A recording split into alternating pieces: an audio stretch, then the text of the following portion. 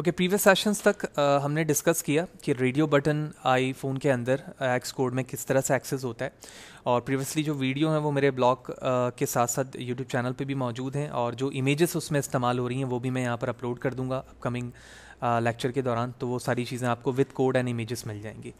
तो existing project जिस पे हम काम कर रहे थे रेडियो बटन के लिए, मैं उसे ही ओपन करता हूँ और वहीं पर हम करते हैं रेडियो चेक बॉक्स के लिए भी। और चेक बॉक्स की दो इमेजेस इस वक्त मैं अपने मैक ओ एस पे ला चुका हूँ। तो सबसे पहले हम उसे ऐड कर लेते हैं। तो ऐड करने के लिए हम फ़ाइल पर आते हैं ओपन और यहाँ से मैं दोनों इमेजेस को ऐड करवा देता हूँ, जिसका नाम C one and C two है। तो मैंने सी वन को यहाँ ड्रॉप किया। एंड सी टू को भी यहाँ ड्रॉप कर लिया। दैट्स इट अब हम इसे कैंसिल कर लेंगे। और अब आप अपने मेन स्टोरी बोर्ड पे चलते हैं।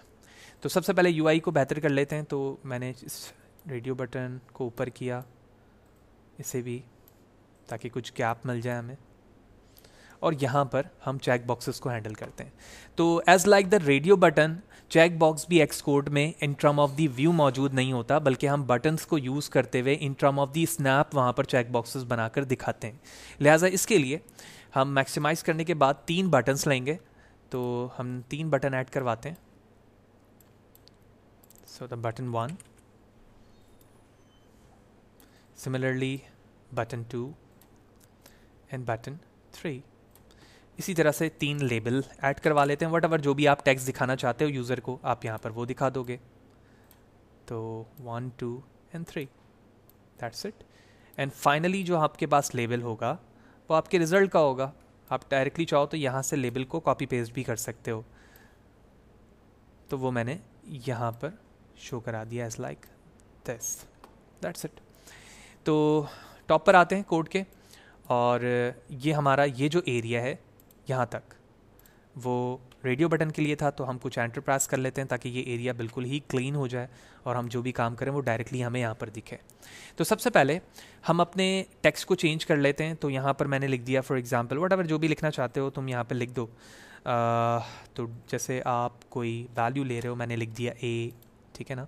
इसी तरह से इस पर हमने बी लिख दिया और यहाँ पर हमने सी लिख दिया। तीन हो गए। बटन्स पे चेक बॉक्सेस हैंडलिंग करनी है हमें तो बटन पे क्लिक करने के बाद प्रॉपर्टी पर आया, इस पर जो टैक्स लिखा हुआ है, वो हटाया मैंने और इमेज से हमने लेना है सी वन तो आप देख रहे हो सी वन का साइज़ आ गया। तो इसकी वर्थ और हाइट मैं कम कर देता हूँ एज लाइक दिस और इसको हमने यहाँ पर सेट कर दिया। दोबारा क्लिक किया इस पर हमने और अब हमने सेलेक्टेड ऑप्शन से लेकर यहाँ से सी टू ले लिया। और अब जब यहाँ पर सेलेक्ट पे चेक लगाओगे आप तो आपको दिखेगा दोनों, ठीक है? इसी तरह सेकेंड बटन पर क्लिक किया हमने। टेक्स्ट हटाया इसमें से और इमेज हमने यहाँ से ले ली सी वन स्नैप को रिसाइज करेंगे। और अब हमें इसी बटन पे सेलेक्टेड पर सी टू ले लूँगा। सिमिलरली बटन थ्री पे गए। टेक्स्ट हटाया हमने। और सी वन लिया text image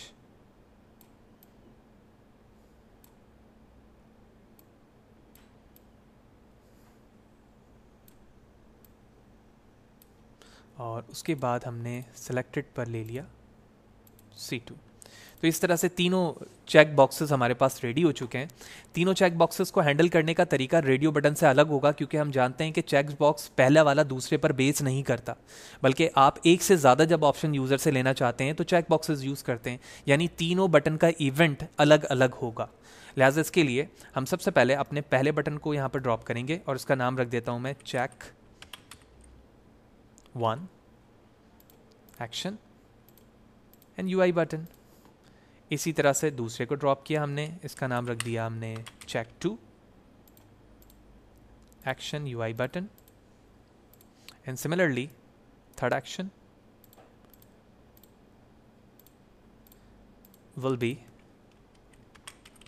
check three action that's it label है हमारे पास। लेबल को भी मैंने टॉप पर ड्रॉप कर दिया और इसका नाम रख दिया हमने फाइनल रिज़ल्ट क्योंकि रिज़ल्ट के नाम से हम रेडियो बटन पे भी एक वेरिएबल बना चुके हैं।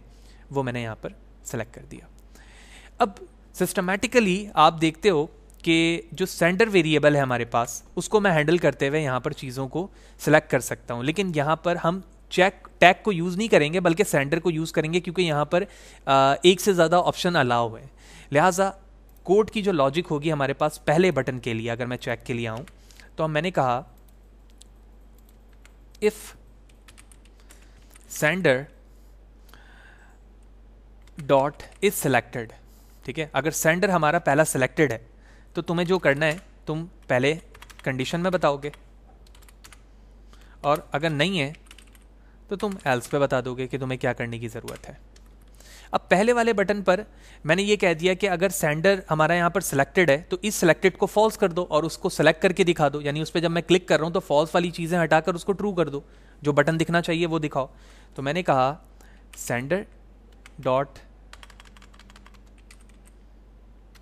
is selected equal to false ठीक है? और जो वेरिएबल है हमारे पास फाइनल रिज़ल्ट का, उस पर जो तुम टैक्स दिखाना चाहते हो, वो दिखा दो। तो मैंने कहा, भाई फाइनल रिज़ल्ट पे जो टैक्स होगा ना, वो बराबर हो जाएगा इन्वर्टेड कॉमा एक है वही ए मुझे दिखाना है तो वो मैंने, वो दिखा दिया यहाँ पर। एल्स में, मैंने इसी को विंडो सी के साथ कॉपी किया और यहाँ पर पेस्ट कर दिया। अब जो चीज़ फॉल्स है, उसको मैं ट्रू कर दूँगा। यानी एक दफ़ा सिलेक्शन पर चेक की इमेज आएगी और जब दोबारा करूँगा तो वो चेक हट जाएगा। यानी पहली वाली ओरिजिनल इमेज आ जाएगी। दैट्स इट पूरे इस लॉजिक को हमने पहले वाले बटन से कॉपी किया सेकंड वाले बटन पर पेस्ट किया और उसके बाद हमने थर्ड वाले बटन पे भी पेस्ट कर लिया क्योंकि यही लॉजिक है। अब टैक्स को हैंडल करने का हमें तरीका देखना है कि हम टैक्स को कैसे हैंडल करेंगे। तो सेकंड वाले टैक्स पर मुझे अपने टैक्स में कॉन्कैटिनेशन करवानी है, ठीक है? तो मैं जूम आउट करता हूँ। और हमें इस तरह से इसको समझना है कि जब मैं ए पे चेक लगा रहा हूँ तो ए लिखा है और बी में लगाऊँ तो ए के साथ बी लिखा हुआ आ जाए। फिर जब मैं सी में लिखाऊँ तो ए बी भी लिखा हुआ है और सी भी लिखा हुआ आ जाए। यानी एक टैक्स पर कॉन्केटिनेशन होती रहे चेक बॉक्सेस के रिस्पेक्ट से। लिहाजा तो कंडीशन में सबसे पहले जब ये बटन हमारा फॉल्स होगा तो यहाँ पर ए नहीं होगा, लेकिन जब वो ट्रू होगा तो ए आ जाएगा। लेकिन सेकंड बटन पर अगर मैंने क्लिक करने की कोशिश की तो टेक्स्ट बॉक्स में ए ही रहेगा। और अगर मैंने टेक्स्ट पे सिलेक्शन नहीं की तो ए ही रहेगा, लेकिन अगर मैंने बी वाले बटन पर, यानी सेकंड वाले बटन पे भी क्लिक कर दिया तो उसके साथ बी लिखा आना चाहिए। लेकिन जैसे ही मैं इसको बी करूँगा यहाँ पर तो वो ए रिवर्स हो जाएगा। लिहाजा कॉन्केटिनेशन को अलाइव रखने के लिए, यहाँ पर हम यूज़ करेंगे final result dot text then plus sign इसका मतलब ये होगा कि जो प्रीवियसली टैक्स है, वो भी रहे और उसके साथ बी आके कॉन्केटिनेट हो जाए। अब इसी लॉजिक को मैंने यहाँ से कॉपी किया। और तीसरे वाले बटन पर पेस्ट करके मैं टेक्स्ट चेंज करूँगा। तो मैंने यहाँ से पेस्ट किया इस चीज़ को और यहाँ पर क्या मौजूद था? ए इसके साथ स्पेस देकर बी लिखा और साथ ही साथ यहाँ पर मैंने सी को कॉन्कैटिनेट कर दिया। ठीक है? Actually is a rough expression to show the text whatever the user click on the in the form of the check boxes और बटन जो भी उस पर वो क्लिक कर रहा है, वो फॉर्म पर हमें टेक्स्ट दिख रहा है। उसके लिए मैंने यहाँ पर एक बेसिक लॉजिक यूज़ की है। तो इस तरह से हमारे तीन चेक बॉक्सेस रेडी हो गए इस सेलेक्टेड को यूज़ करते हुए। अब मैं अपने सिमुलेटर पर रन करता हूँ और देखता हूँ कि ये किस तरह से प्रॉपरली वर्क कर रहे हैं। लेट्स सी ओके तो सिमुलेटर एक्टिव है और तीन आप देख रहे हैं कि हमारे चेक बॉक्सेस वाले बटन मौजूद हैं। मैं ए पे क्लिक करता हूँ। जैसे मैंने ए पे क्लिक किया, नीचे टेक्स्ट बॉक्स में भी लेबल पर भी ए लिखा है और दोबारा मैं क्लिक करता हूँ लेबल से वो चीज़ें हट जाती हैं। तो तीनों बटन इसका मतलब है प्रॉपर्ली यहाँ पर काम कर रहे हैं। देख रहे हो आप बी और सी भी लिखा आ रहा है। मैंने दोबारा पहले वाले पे चेक लगाया ए लिखा आया।